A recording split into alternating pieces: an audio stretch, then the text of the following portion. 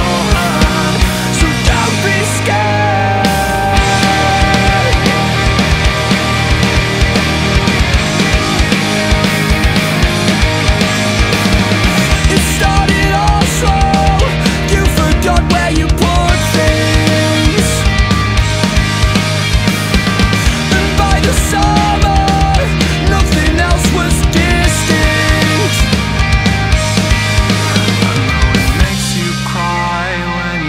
About death, but I'll hold your hand. So don't be scared.